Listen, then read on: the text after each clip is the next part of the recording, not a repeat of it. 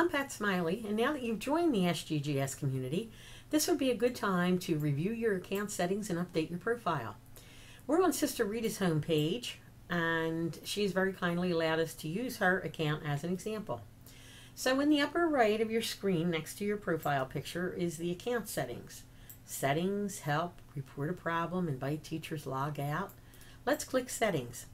Now you'll see that Sister uses her own picture for her profile picture. If you'd like to do that, you go to your computer, you pick the picture you would like to use, and I'm going to say cancel because Sister already has hers, but you open that and it would be uploaded. Perhaps you like to use one of the Edmodo icons instead. Feel free to browse and choose one of those. It's your choice, whatever you'd like to do. For her email, Sister has listed that. This check mark means it's been confirmed, and we'll talk about that in a minute.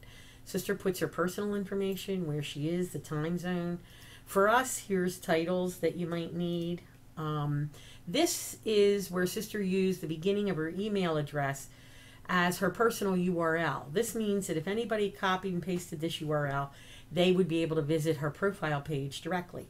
If you don't want to do that, just leave this box blank. Really, the choice is up to you.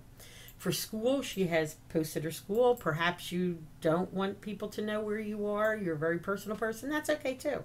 But if you enter your zip code where they ask you to search, you'll see that there's two names that come up for St. Gregory. And since we're very proud of our Catholic identity, that is the one that we have used. Okay, once we're done, we save our personal info. It's been updated. And let's look at email and text updates. Sister prefers to get hers through her email address. You might like text messages. You may want no notifications at all. You prefer to check the site on your own periodically. That's up to you. But I do suggest that you might want to know about connection requests, replies, any notes, and direct messages.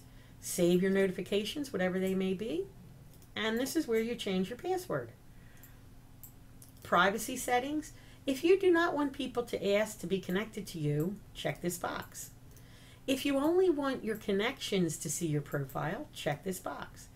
Sister is open to making new connections and she is very happy for people to see her profile. We save those privacy settings and we are done with this particular part of our exercise. If you look at her profile, now this edit button takes you right back where we were for the personal account information. But we are interested in doing a little bit more. Now you'll notice that Sister has 80% of her profile completed. Um, this will come from the information on the page we were just at. Sister has a sharing score of 13 because she's really new to Edmodo. Here you can find new connections. They'll come up.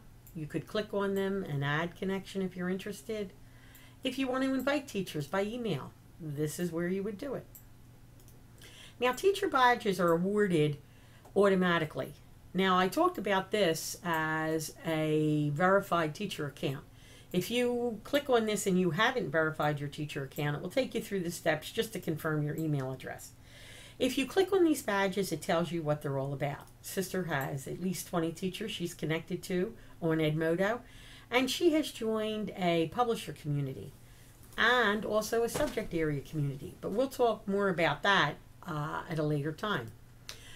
Again, they're awarded automatically. So as you go through the profile and activity on Edmodo, they will give you this. Now, Sister has put a little bit about herself in here. She's just started it. I'm an information resource teacher at SGGS. We're going to save that for her. And she can come back and add more if she wants to. Sister currently has 33 connections. They're all listed here in case you want to visit their profile page and interact with them in some way. And uh, Sister does not have a class on Edmodo. At some point, you might. And in her community, she belongs to the help community, and this is computer technology. If you click communities, it will show you which ones you are. But from your home page, you can browse communities. We will go into that at a later point. These are publishers that you may like. Uh, they, if you click here, it will give you a list of maybe publishers that you would like to follow. Once you've finished with your profile page and you're happy with what it looks like, go to the upper left and click the home icon to go back to your home page. Thanks so much, and I'll talk to you soon.